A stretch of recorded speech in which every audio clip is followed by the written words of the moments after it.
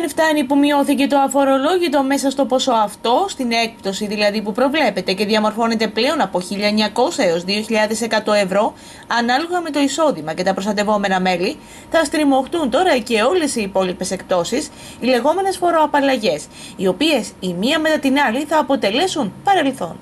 Κάπως έτσι, οι μισθωτοί, συνταξιούχοι και οι αγρότες που έχουν ακόμη αφορολόγητο όριο στο εισόδημά τους θα δουν να χάνεται η φοροαπαλλαγή για τις ιατρικές δαπάνες.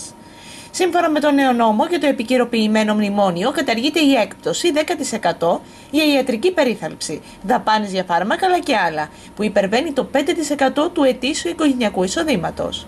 Η αλλαγή αυτή έρχεται για τα εισοδήματα του 2017, τα οποία θα φορολογηθούν το 2018 με την εκαθάριση των δηλώσεων.